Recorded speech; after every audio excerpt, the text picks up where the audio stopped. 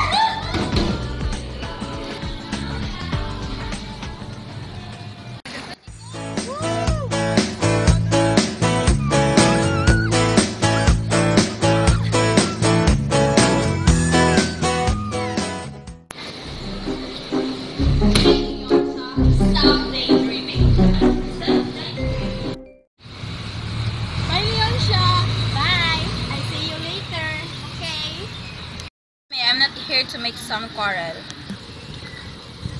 Then what? What do you want? Here to apologize of what I've done.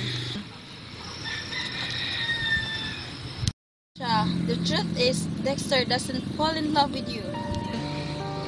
What? That's not true.